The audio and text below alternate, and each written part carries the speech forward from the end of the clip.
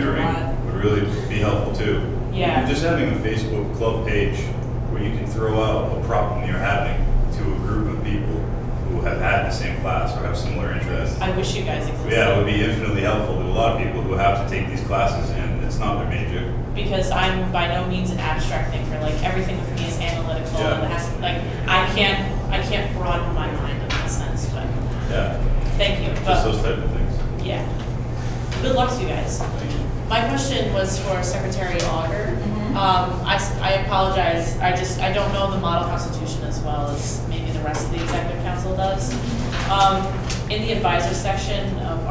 7.5.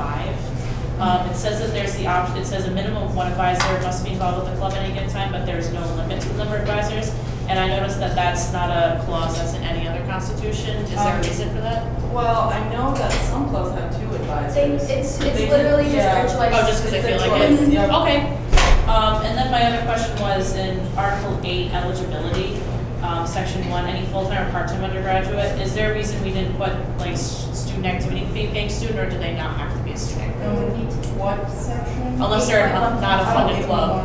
Um, Usually they're on yeah, yeah, usually if they're full-time or part-time undergrad student. So No, ju- it needs to put it in there. Oh, it needs to, Yeah, I okay. So how would we, how would we fit that in? Oh, okay. Oh. Yeah. So, okay, so is it just implied that they're student activity fee paying, or, Um, it says it, I believe, in Article four point one point one. so, you- so you don't need to repeat it again, because I remember it's there. I but- don't believe so. Okay, I mean, we could put the language in, it just seemed a little redundant to me, and I think that's why I didn't put it in there. all right, that's fine. Um, okay. And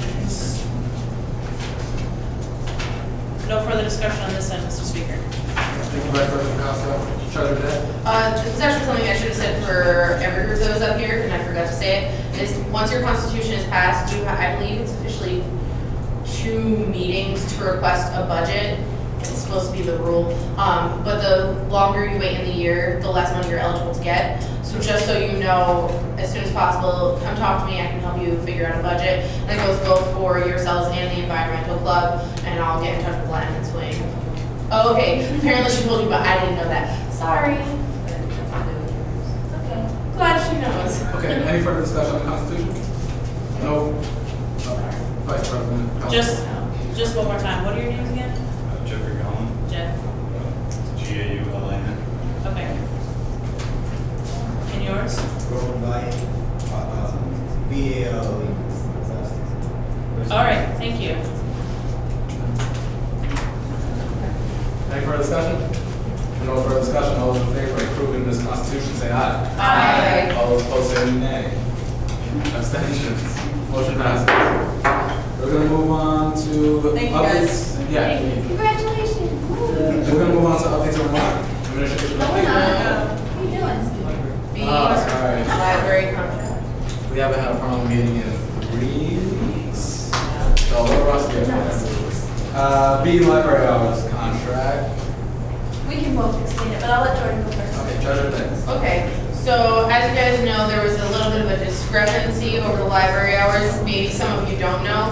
Um, but for, the- what happens at the end of every semester generally is that the director of the J- James P. Adam Library, Adams Library asks student community government to kind of co-sponsor co-sponsor an event with student community government, and basically that event is extended library hours. And the library hours we advocated for was to have the library open 24 hours for the week of exams and the week before exams.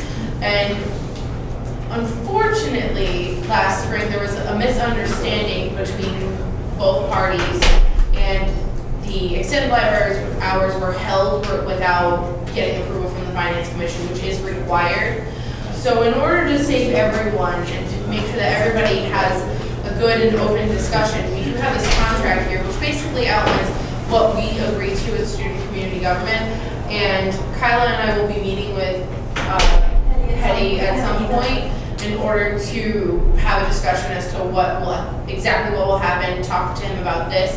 And there may or may not be changes, but we just wanted to let you know what would be going to that meeting and kind of what you'd be looking forward to, because at the end of the semester, or even shortly, we're probably going to be asking if it's a good idea to do it again. Actually, this, this is what we're asking. Yeah. If it's a good idea to do it again, or if you guys would like to hold back, and if you guys don't want to do it again, we still have to have a meeting to talk to Hedi about it regardless. So, Yeah, I think maybe what we're asking is for you to take a look at this, and if there's anything you think we need to add, then please let us know now. Otherwise, this is how it's gonna look when we go to Hedi, so. So you want a motion to approve? Um, I mean, I guess so. Is that your- Sure, motion to approve. Motion by Second. President Peckinpah, second by Treasurer Day. Um, Oh, you got it. Yeah, I was just gonna ask, so is this, my understanding of reading this is that this is an agreement for the year, both semesters? Is that what this is? Yes, it's um, until May are- 2013. We're, we're agreeing to funding the hours for the fall semester and the spring semester. it says that there has to be information provided in order to submit a request. So it's saying that we're agreeing to ask for it, not that we're agreeing to pay for it. Maybe I need to correct some of the language. However, I am fairly sure that it says, Student Community Government Incorporated agrees to seek funding for extended library hours for the last two weeks of the semester. Um, An estimate of cost is due three weeks prior to the beginning of the extended hours, treasurer, blah, blah, blah. How about, um, just to clarify, Student Community Government Incorporated agrees to seek funding for extended library hours for the last two weeks of each semester.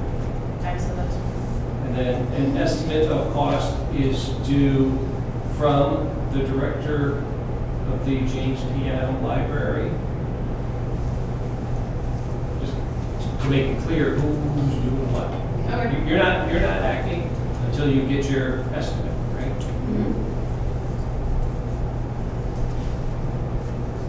Okay. That was accepted as friendly, correct? Yes. Any further discussion on the contract? Question? not counting the year we're in, is, how many years has the community government funding? Just Not in two the years? second. This, no, this would be the third. Of This will be the third year. Okay. Yes. Oh, this did will my be the- first year this will be on, the third. yeah, this would be the third year we did it. Vice President Costa? George's gonna hate me. I was being a bad parliament member while she was speaking, and I was actually just reading this instead. So just to clarify, previously, in previous years, we would pay for an entire week. We have paid, we have paid for an entire week, we have paid for portions of weeks. Um, originally, when we started extending library hours, we paid for a certain portion of hours. Then when we did the full twenty-four hours, we paid for the gap, um, which is stated in here. Yeah. And then we moved that gap to go to a following week and expand beyond that. Um, so we've paid for one week, parts of a week, two weeks whole, and as of last I checked, we paid for two weeks for the spring with finances approval on the October third meeting. So my question to you is then, well, go ahead. No, go ahead. Was just, I was confirming that it's October third that we did that. Oh, Okay, so, um, has anyone, has any representation in the library, like, looked at this yet? I know No. you said no. We're just- we So you haven't had a meeting with You don't them. know any feel at all of how? no, we're gonna bring it to him and then if we need to make Have you, changes then. have you emailed them with like this possible plan at all? No, not yet, no, Alright. because I just got this from Jordan a couple weeks ago and we've had other things to do. so. And we scheduled an appointment, we already have been in contact scheduling an appointment with him. So that would be why we haven't actually, like, this isn't final, like, if they come back, it's just more of a discussion about library hours and showing the precautions that we're taking in future endeavors to participate in co-sponsoring with the library, because we are working with the college on this activity that benefits students, and we want to make sure that if it's something we want to continue doing, or we want the college to continue doing, right now, it's not in the college's budget to do it, but it's something that we've advocated before with the college. And it's been brought up at PECAC luncheons many a times. I think Dr. Penfield can vouch for me that it's been brought up. Um, and it's something that I know at the end of the year, as long as we mention it to VP Gearhart again, I'm pretty sure just nudge them in the right direction. And we'll continue to aggravate him until he puts it in. Um, and then my last question is, so as you just explained, we've seen payment plan of how we do this five different ways to Sunday. How did you and President Pecchia decide that this was the best plan to bring forth to the library? I can answer that question. Go for it. Um, just because in the past it's been so disjointed as far as communication and as far as who exactly is going to foot the bill, that I feel like, you know, any kind of contract that. No, I agree, I agree done any kind of specifics, will just aid the process. Is that what your question was? No, my question was, all right, so you know how it's, Jordan just explained the different ways we've paid for one week out of the two weeks, we've paid for the gap. How did you decide out of all those different ways that we paid for before that this was the best possible option for us? Do you want to answer that? So we got an email from Dr. Kane over the course of the summer asking about the past due bill. We had a discussion, there was multiple e- emails that gone back, that had gone back and forth between us. There was a breakdown about the amount of hours that were being paid for. Um, and we were under the impression the whole time that we were only paying for specific hours. And we were concerned when we saw the hours that we actually were paying for, and we felt that it was unfair, that we didn't know what we were paying for in advance, and that's something that probably should have been resolved the moment this first came up. It shouldn't have waited this long, but it happened to have waited this long because I don't know if anybody had actually ever asked. Have we ever asked? I don't, I know I never asked as a finance commission member, and I would have never thought to ask, but until it's kind of thrown in your lap, that's when you break it down a certain way. And the library used to extend their hours anyways until midnight during exam weeks. So we felt comfortable paying from midnight to when they would normally open. And so that's where we broke it down. And we said two weeks because not everybody is just studying during the week of exams. People are also studying the week before exams, I hope. Procrastinators. Um, well, procrastinators unite, but those who are proactive and want to do it week before can study the week before. And we want to give them the opportunity to write papers with resources in the library the week before, no matter what time of day it is. Because I know sometimes if I was at a dorm room or if I was doing work elsewhere, I would come and escape to the library at 3 a.m. and write a paper. So, from personal experience, working on the finance commission, the data that was provided over the summer, and just the benefit of the overall student community, we felt it was necessary to allot specific hours that we're willing to pay for that are beyond what the library normally pays or covers. And also, we really feel that the two weeks is what's most beneficial because it helps everybody. So, yeah. Thanks, gals. Thank you, Mr. Speaker. Representative Carlson. So, will you kind of just answer my question, um, Treasurer Day, but, and like, all set aside with all of the logistics of it and all Library has gone really well. Oh, yeah? Very. Okay, because I, I know it's been done before, I don't live on campus, so I don't use it, I don't go in there, so I'm just curious as if this really benefits the student body. I can, Dr. Kane has the report. Where you sleeping at? Hey, hey, no, Staying out there all night. It, it's really intense. The first year that we did it, when I, I can honestly tell you for a fact, the first year that we approved it, um, students were so happy that they had that twenty-four hour space. And that was my sophomore year here on campus. Oh my gosh. Not perfect. Oh, yeah. I'm gonna pretend it's a sophomore. Yeah. Um, so it was a while ago, but people like that I knew that were graduating, especially seniors, really appreciated that time. And then when we moved up to two weeks, people were like, people sent Dr. Kane thank you emails for all the things that we had been doing. We even got a complaint about about the student workers, and we were like, you know what? Power to the student workers, and we sent a thank you letter to the student workers. And so it's proven that a lot of people like this and a lot of people enjoy it. Um, Dr. Kane has all the specific data, and if you'd like that, I can request it from him and bring it to the next parliament meeting so everybody can take a look at it. Um, but I do, we, there is specific data on it that Hedi Ben Aicha has provided to Dr. Kane to show that it has been working. Yeah, I, I took it as it's been successful, so I Yeah. was just curious. I, I, I don't think. Because I've never been there, so I'm just curious to see. Totally. One of the great unknown successes of student government, basically. Uh, oh, Secretary Ross. I just want to say thank you for extending library hours on Kings. Because now, at the end of the semester, I don't have to go to PC anymore like I do now until two AM to work on stuff. Yeah, thank you. Representative Diaz. Yeah, just touching touch on Shannon's questions, that is the only time I ever actually go to the library, because nothing else to do, that's. I would go to sleep, Like, that's the place. to Your be. experience, Yeah. won't Yeah. get anything done. Representative Taylor. I just have a question. I want to make sure I'm following this right. So we are funding the library if we pass this, right? But what if the library presents us with a figure we don't like? Can we opt out? I'm We're gonna ask, We're not the, the contract is asking finance. It's, it's giving the permission to ask finance. It says we'll seek funding, it doesn't guarantee that we will provide funding though. Okay, because I'm a Seeking, confused seeking, by that. yeah, seeking funds is just asking, I'm gonna request for it, and if I don't get it, Yeah, I definitely think it's a good cause. I just want to make sure our hands aren't tied when the time comes. We can- no, and it's something that if you guys don't vote to approve tonight, then we're not gonna do it, so. I mean, I think it's a really good thing, and I know everybody else in the room thinks it's a good thing, but I can under, there, there are reasons I can say that I would understand if people voted no, but I personally feel that this is beneficial to the entire student population, and if you vote no, I mean, that's your personal opinion. And I don't know why this.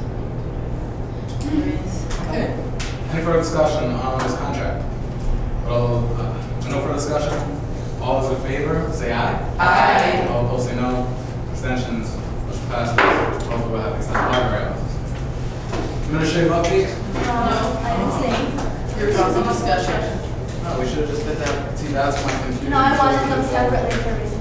Okay. Groove Boston discussion. So- You already have the numbers in front of you. I will try and make this as brief as possible, but I just want to get your feedback. Um, because the meeting that I approached you, the very first meeting, and asked for your consent in order to hire Groove Boston, it was unanimous.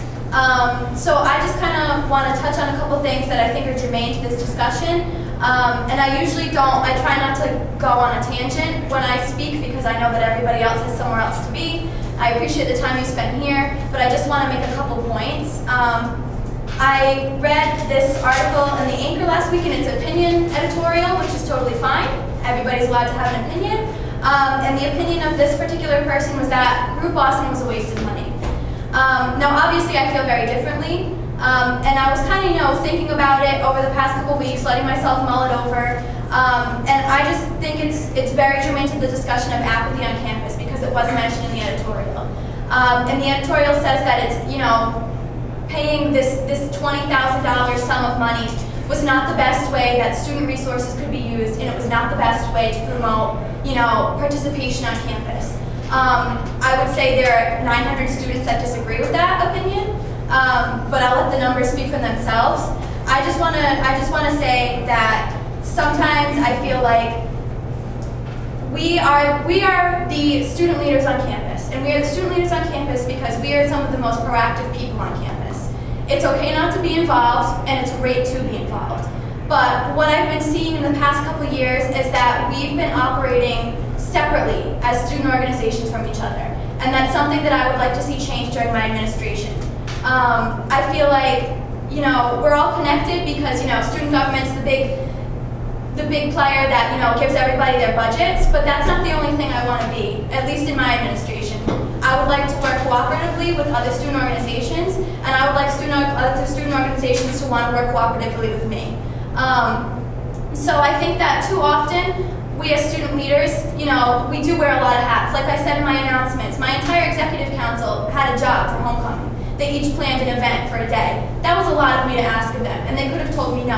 But we choose to take on these responsibilities as student leaders because we have a, vested interest in the school. At least I know that I do. I love this school. I love everything about it.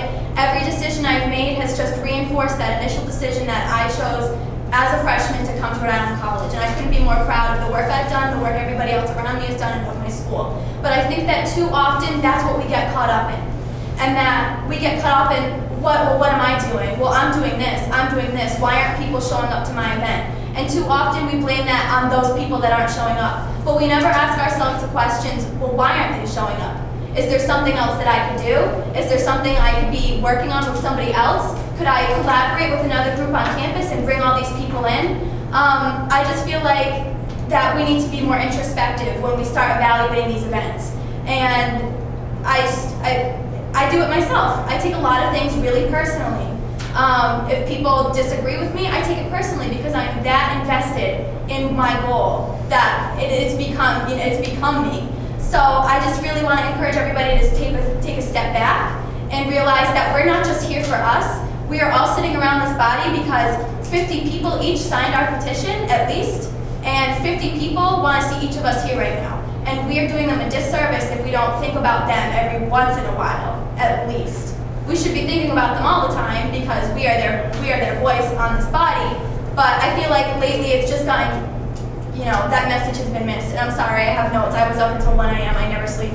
Um, I think that we need to work. We need to work together better. And this author's opinion isn't incorrect in saying, you know, maybe it wasn't the best way to promote, you know, togetherness and unity, and maybe there were people who were excluded from this event. He mentions older students, but I mean, not to not to point anybody out, but Representative Sanchez was there, and he's not he's not 20. You know, he was there with the rest of us having a great time. So if he can do it, there's no reason that anybody else who's his age or around his age could not go to that event. Nobody was excluded from the event. Um, and the author also mentioned something about um, expanding the resident population. Um, I did ask Teresa Brown when I read this article about how many rooms were filled on campus because I thought that was pertinent to this discussion as well. Um, we obviously don't have a huge resident population. We're, what, 90% commuter? There's nothing wrong with that. I feel like people think that there's something wrong with that. We're not URI, we're not Bryant, we're not PC, and it's for a reason. We have to take ownership and we have to take pride in the campus that we are and work with what we've got. Um, the suggestion, you know, was to expand residency, expand, you know, essentially creating a new residence hall in years to come. That's a wonderful idea. But to get new halls, students had to be proactive themselves and camp out on President Nazarian's front lawn and say, this is what we want. And as much as we do, all the hats that we wear, we can only do so much. We have to help these students take pride in their school, and I think that's part of our job. So, in my eyes, and thank you, Mr. Speaker, for congratulating my executive board, you were definitely a part of this effort on, you know, helping this event be passed and approved. We already had several students, I had a few phone calls last week asking me when it was going to happen again. So there's definitely an interest in this, and I would be really interested to hear in your thoughts as a body, but that's just all I want to say in the matter. So thank you for everybody for, you know, letting me come to you with a crazy idea and, and believing in me and approving it and then showing up. That's wonderful. So I would really like to see us continue that progress and that kind of work and that kind of change because that's how we're going to leave this campus better than when we got it. So that's all I have to say. Treasurer So I'm just gonna add to some of President Peckia's sentiments. Um, for numbers sake, because I know we already did a report, but if we only had eight hundred attendees, that would be twenty-five dollars and fifty-six cents a person, and for an event that grand, that's a really nice price. Um, those tickets usually go for thirty, forty dollars $40 a piece. And we were really hoping to sell something like this out. And with the assistance from Mr. Paolucci, Kate Rosina, um, from the, the Director of Alumni Relations, um, Dr. Kane, Dr. Penfield were there.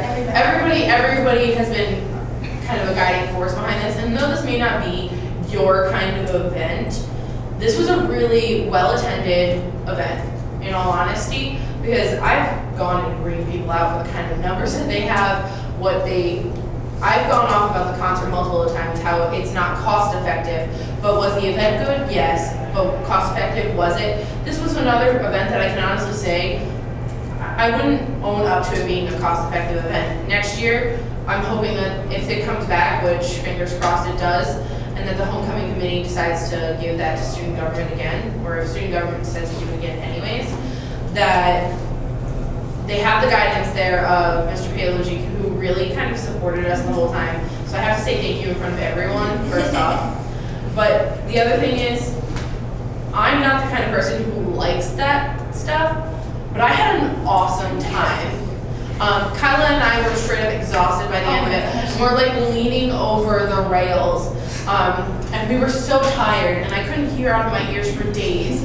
And the PC students that we invited to get the experience, because it's our right to bring people, like we were invited to go to JWO. Um, the PC students had a really great time, and now we have the opportunity to go to Groove Boston again if we want.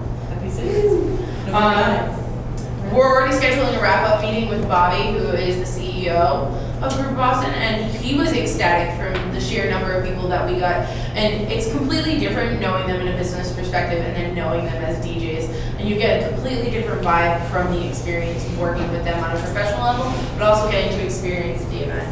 Um, I agree that maybe this wasn't the most widely appealing event, but if you guys want to change that, join the homecoming committee for the 2013 year, or join Parliament, and you will get that info right ahead. Um, everyone on the homecoming committee that was, and these are adults that came to the homecoming event, were sincerely surprised and amazed by the sheer number of people we had. They're like, "How's it going?" And Kyla and I are like, "It's great." Um, Dr. Penfield showed showed up, and I wasn't expecting to see you. I'm gonna be totally honest. and then I and then I found out that he was in the back eh, taking pictures with people like Marcy and Kyla and Hillary and Katie, and they even our administrators were supportive of our event. Um, this isn't some, we're not going to always please everyone, and that's something that I have to emphasize because no matter what you do, how you do it, somebody's always going to be upset. That's the college, that's life. But I think for our first venture and working on something that's more student-centric, um, I asked Mark how many people went to Kanye West when he was here, and he said 2,000 people. So the fact that for an event like Groove Boston, to bring in half that, if not a little less.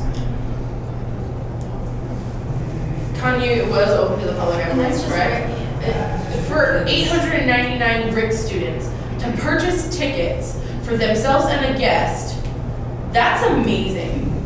I don't think I can emphasize the kind of culture that, as much as it may not be an academic event, it may not be what everybody dreams of as, oh, student government sanctioned. It was a really great event to show that this campus has more than people are willing to give it. And I think that people like myself, Kyla, Gianna, Katie, Hillary, even Mary worked on it. Travis, even though he didn't get to go, he kept on checking in with us, seeing how the event was going. Ryan Betancourt was supportive of it. Everybody, Sam Allen went and set up. We got Marcy, president of programming, Shannon's the treasurer of programming.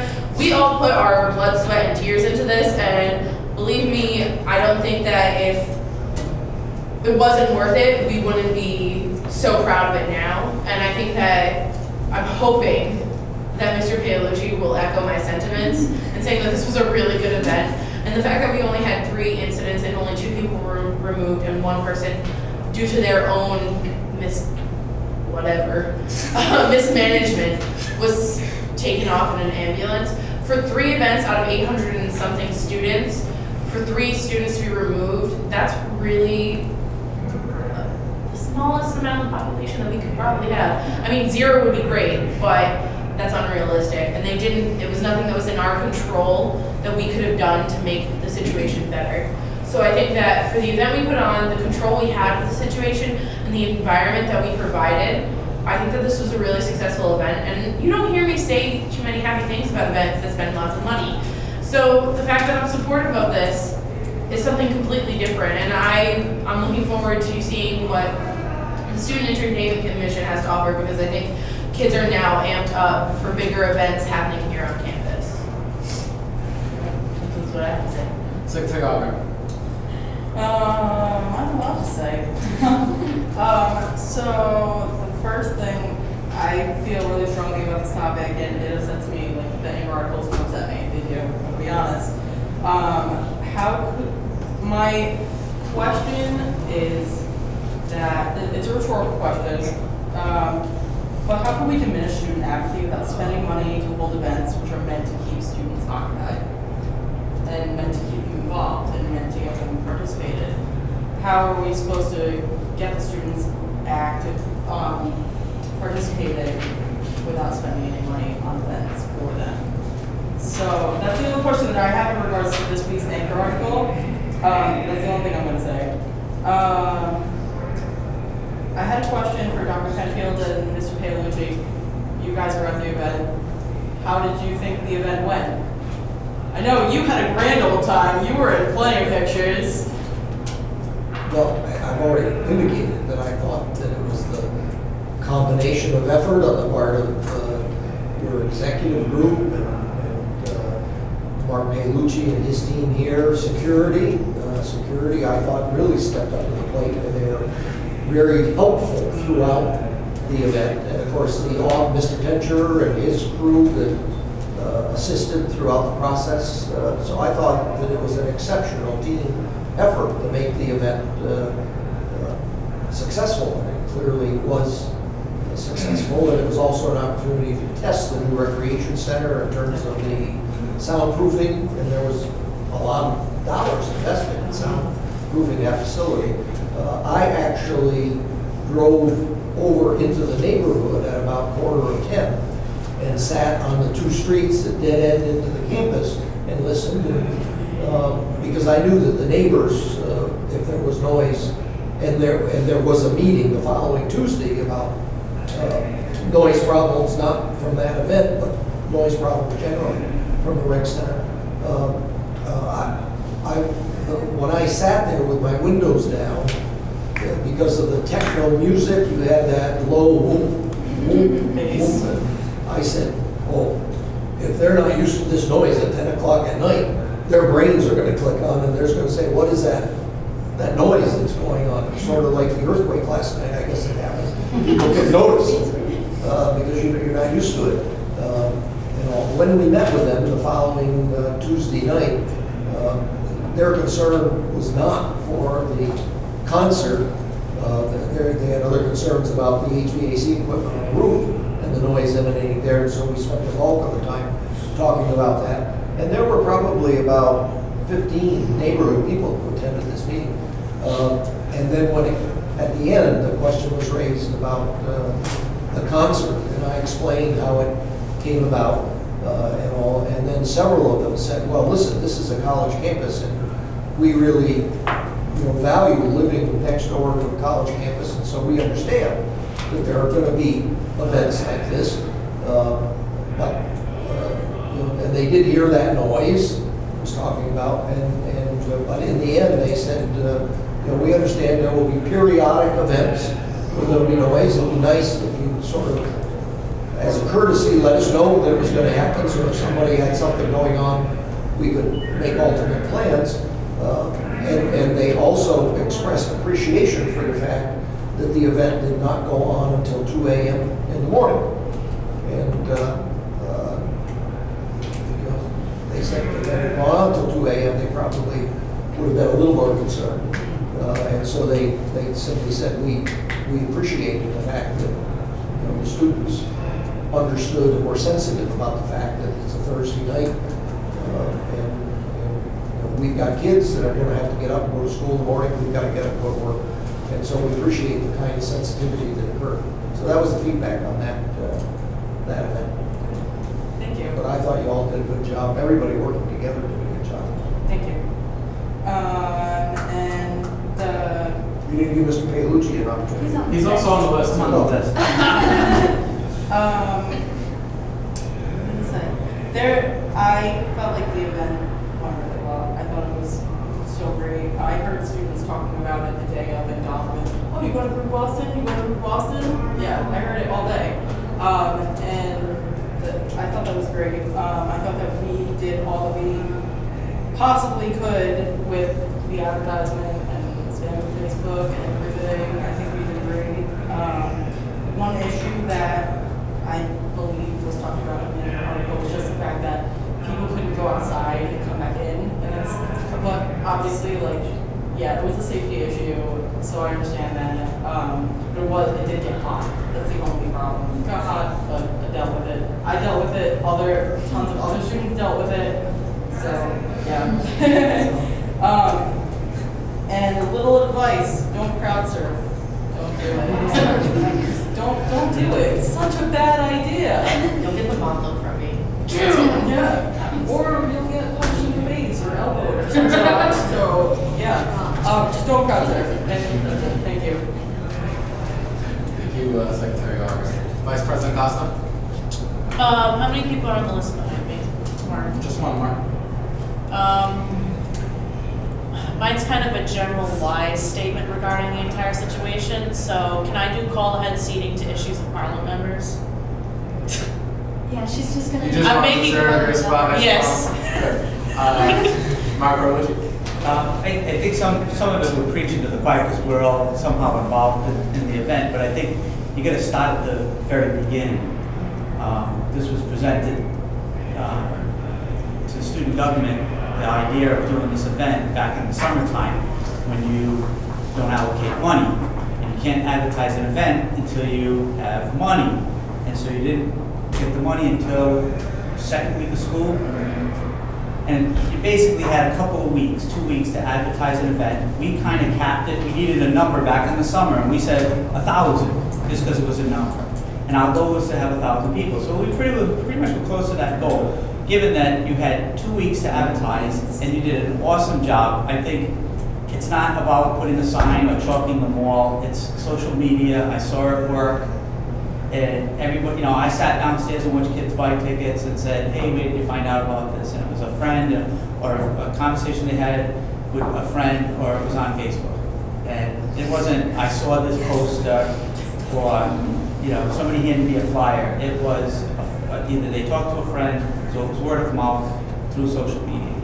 And I think in two weeks, it was like a Hercule- Herculean effort to get that word out. And I think the, the, the plan should be to set some some money aside, so you're not scrambling around in August to sign a contract. Dr. Kane signed the contract like two days before the event. Um, You know, so you're not doing those things. So there's a follow-up meeting for homecoming to talk about some of these things on Wednesday. I would hope that somebody from your group will be there to say, what is the plan for homecoming next year? So we can plan before we all go away for some reason, though some of us don't. I'd love to, but we don't, uh, we're still here. But I think that's where the, you know, the, the effort starts. The effort starts before you guys leave in May. So we- we're not sitting here in August trying to plan an event, spending twenty thousand dollars. And we, we believe that more than a thousand students can go to that event. If it's that event or something along that line, then, you know, will- is what the students want. This, when I it, I said, I think this is what the students want. I think this is gonna be a big hit. And, you know, it's not real, it's un, it's unrealistic to say, we're gonna get a thousand, we're gonna get two thousand people. Because if they, if they're touring again next year and that, and that idea comes about, uh, I think it will work. Uh, but again, it's starting, it's planning early. We did plan this really last minute. And, you know, I, I always look at, you know, plan an event and it's, it's like how McDonald's works. It's, it's a product, it's a price, it's the people that sell it, it's a building that they sell it in, and how they market it. If you look at the hamburger, McDonald's sells millions of them. Why? Because they have all of those things in place. So if you go along with that concept, you have, you know, it's Groove Boston's your product. You put it at a right price, it's affordable to the students at five dollars. You had a great facility and, you know, kudos to the athletic department. A lot of those people don't do those kind of events in that facility. You know, you got Andy who mows the lawn for, you know, the soccer field is, you know, working the event. So all of those people kind of, you know, those are the, the personnel that, that, you know, that we rely on to put on an event. And then you market it, and you guys, you know, did that. And so you had all those five elements, and that's why it was successful. I think just the timing of it has to be better. Um, and it kind of got, it got thrown on you. Now, the last part is, the thing that you talked about at the very beginning that nobody touched on, you're upset about the anchor article, and I read it, I folded it up, I put it away. But none of you respond. There was no rebuttal, nobody wrote a letter.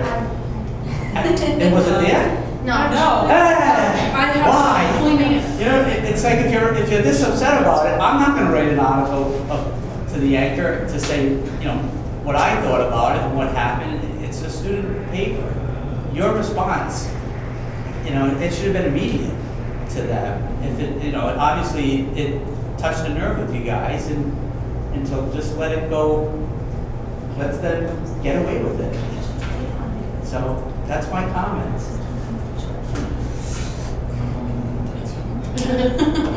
Hillary left. I just want to Representative Burr. Oh, you all right. Representative Burr. Um, no, there was a letter written, it will be published in this coming week's paper.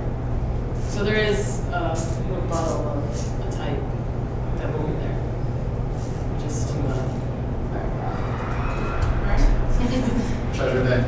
I was just gonna say that from knowing the people in the anchor, there was a response.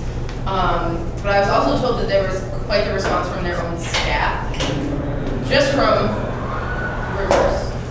There was a response from their staff about the articles, um, and that one article reported one thing while another said another, one, another thing. So, um, I can't say that people didn't react to it, but I think people, at least from our perspective, at, from my perspective, being an officer up here, um, because I do have a working relationship with the newspaper, I'm not going to get into an argument with them over something that I know doesn't need to be an argument at the end of the day. So. No further discussion on this topic with Boston. I know we kind of went along with this, but obviously it's a very important um, discussion topic about student government's future. So, with no further discussion, we're going to go on to updates and remarks. Okay. Thank you, Mr. Speaker. I have no report or update. I actually have a question for you. Can I get one of those magnetic uh, buttons? Yeah, I have one for you. There are. There are. Yeah, you can ones. put them I on. know. I know. I think I have stickers and bumper stickers. I don't know if I have magnetic ones Some anymore. magnetic. Oh, it's not magnetic. You don't want it. No, I don't. I just assumed because uh, RDW did the same thing. Yeah, no, I didn't. Um, faculty faculty update, Marvin, did you have any? Um, updates? Just briefly, um, a good thing for um, Brick students, I think, uh, during diversity week, um, Professor uh, Threlkeld uh, and um, Harry Rossi, who's the Director of Disability Services, and myself did literacy training on higher ed strategies for all students, but particularly our, uh, that research shows are really helpful for at-risk learners at whether it's English as second language, if they might have a disability, or maybe not as sophisticated with educational tools. It was fairly successful such that the Department of Nursing uh, has taken on and wants their entire faculty um, trained in literacy strategies and instruction, which is a good outcome for, you know, a small event that takes place at Diversity Week. Um, Island College, um, I'm working as one of the co-chairs, uh, is uh, in serving as a faculty mentor on a subcommittee that is looking at changing business for how schools are structured within the structures they have to be more accommodating and more accessible for students coming out of foster care. So that's gotten underway and um, with representatives from the private colleges from Rhode Island, uh, as well as state agencies, Rhode Island College, and a, uh secondary piece. But Rhode Island College is good, it's going to be hub of what the design will be. Um, the third thing is that under council, I hadn't heard it mentioned, and I realized I was away, but as far as academic discipline, um, one of the things that have gone through the council is to, to break up um, academic disciplinary issues from other disciplinary issues. And that's underway, um, where faculty mentors are assigned to students with academic issues to mentor for a full year. And I'm one of the people that is taking on that responsibility. But I think it's a nice change here because in many cases, people who find themselves in a disciplinary issue academically don't often necessarily know how they got there. Um, not everyone is as familiar with things that maybe people would have known in my day, uh, what even constitutes plagiarism in some cases. So anyway, it's um, a rewarding experience, but I think it's a nice move uh, that faculty are going to be in touch with students so that we're getting better outcomes, more success, not just saying, oh, it's punishment, but showing them how to do it the right way. That's all. Thank you. Staff, okay, my The only thing I've got to say is that meeting for homecoming, the follow-up, if you- if you're not going to be there, I can report on it. for, When is it? It's Wednesday at noon time, that's the only. Well, we're, Because we're already meeting with Kate on Tuesday morning. Do we- Supposedly, I don't think it's confirmed yet, but What, well, can you not go, Tyler? we'll talk about it after. There you go. Thank you. Dean Smith, Dr. King. I may uh, need some help from Dr. Penfield on this, but the President Carriuolo is interested in initiating a shuttle uh, service on campus to sort of uh, help students from the, in particular from the uh, remote parking lots and get around uh, quickly to their, from their cars to their academic buildings. Um, I think we're sort of looking at a launch date maybe sometime in November, but a lot of work needs to be done. And we want to work with student government. I think she said something to you, or somebody said something to you. Very briefly. And, uh, We want to work with student government to talk a little bit about routes and what might make sense and be most helpful for students. So we'll do that at some point in the near future. Okay. Anything else you could add to that, or? No, that's fine. That's so. Oh, Treasure Day. Um, so since you brought up uh, shuttle, I'm gonna ask about the uh, bus stop, bus shelter, when is that gonna be done? In honor of Eric Buckley. Um, do we have an idea when, I know I saw professionals in suits out there looking at it this morning. So I'm assuming that means that there's going to be a, There's going to be a dedication, a ribbon cutting kind of ceremony. I think it may, I know it's early November. It's either November 4th or 14th, but I don't have a calendar here to know whether those are Sundays or, fourth is a Sunday. 4th, this was not the 4th. What's the 14th then? The fourteenth Well, the would fifth be is a on Monday. Wednesday. It may be the 14th then. Anyway, Okay. approximately that time. And uh, um, Aaron Buckley has already been communicated with because of course he thought it was sometime in October and got hours off of his work, new work schedule to attend and showed up for it.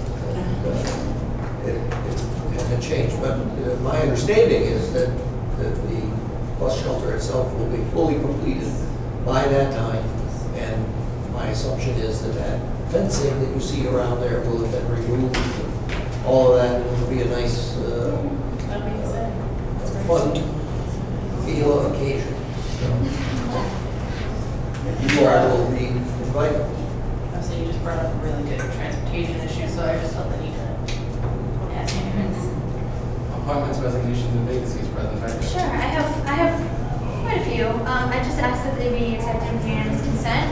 Um, I'd like to officially hire Kristen Welch as our communications director. Um, I'd like to appoint Kimberly Plant and Chris Susi to the Student Life Committee. Um, I would like to appoint Tyler Dean and Jack Adamo to the Finance Commission. Um, I would like to also appoint Caitlin Burke and Andrew Augustus to the Public Relations Committee. Um, what else do I have? And actually, I would also like to appoint our second faculty representative, um, Dr. Namita Sar- Sarawagi, as our second faculty representative.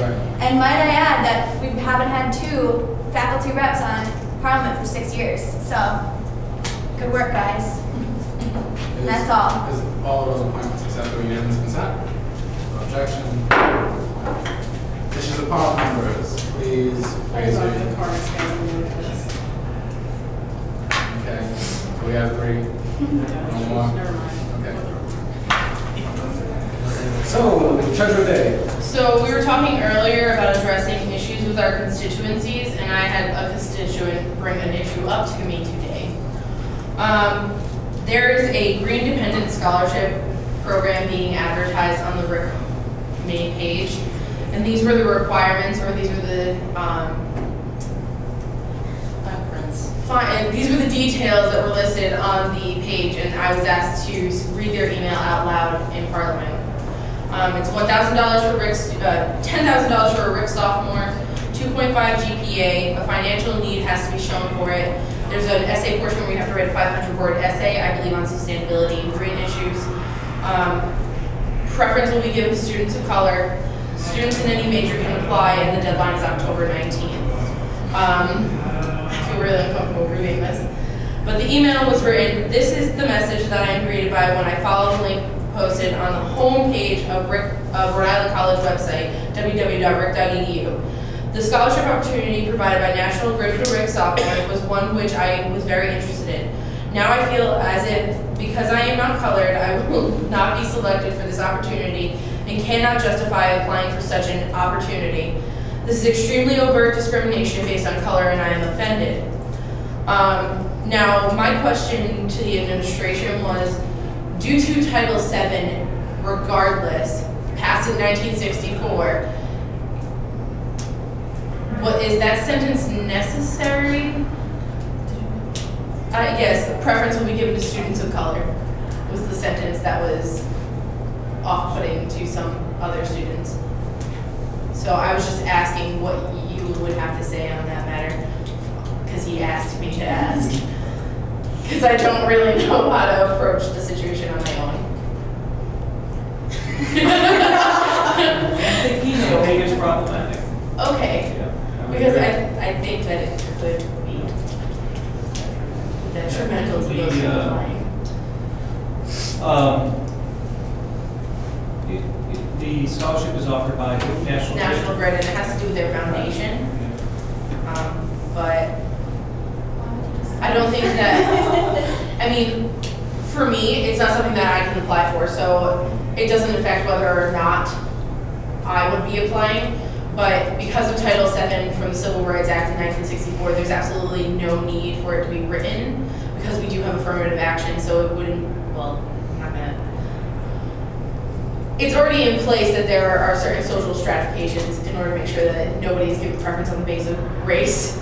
Um, and I don't feel like stating something like that when applying for a scholarship is going to, um, welcome students to applying, and I think that's what the sentiment was of my constituent. So, something that maybe either you, Dr. Kane, or you, Dr. Penfield, could look into for me.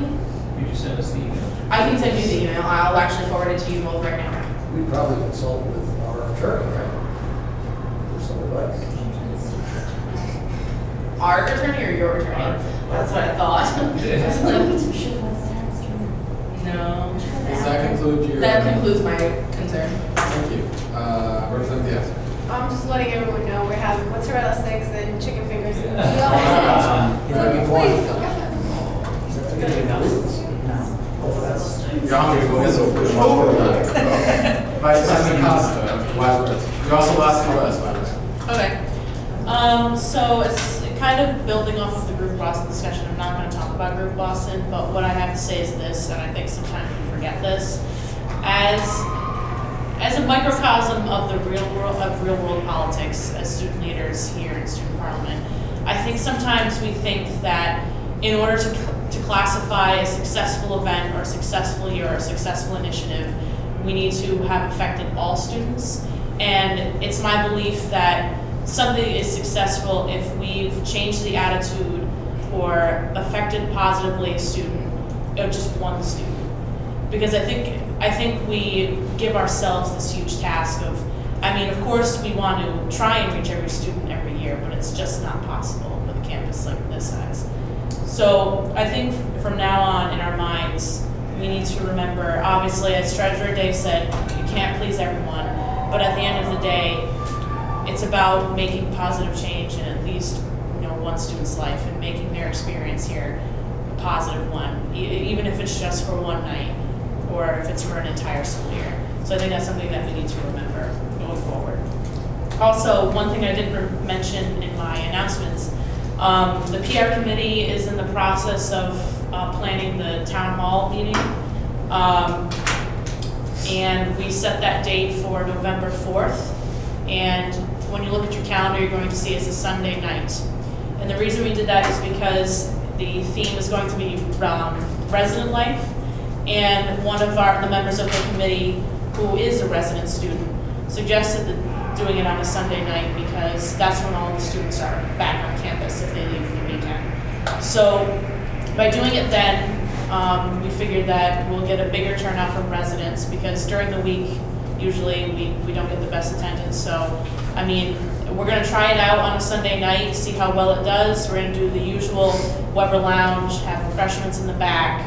Um, and we're gonna do, uh, now that we have Kristen Welch hired as our communications director, she's a senior graphic design major here at Rick. Um, she works at FM Global doing graphic design, so she's awesome with graphics. And she's already got the graphic for this in the works, and all of my committees really stepped up and agreed to go and, um, pass out flyers to residents as they walk the crosswalk back to, um, their dorms. So, keep this in mind, promote this November fourth, seven P M, in the Weber Hall Lounge. Let all of your resident friends know. Uh, thank you. And motion to adjourn. Second. Motion to adjourn by Vice President Costa, second by Gianna Oliver. All those in favor of adjourn- adjourning, say aye. Aye. All opposed, say no. Abstentions? We are adjourned. Please, everyone, stay seated for roll call. And Vice President Costa, we still doing pictures? No, Oh, no, we're not doing next week because there's Here. Hillary Costa. here. Gianna Oliver. Here. Jordan Day. Here. Travis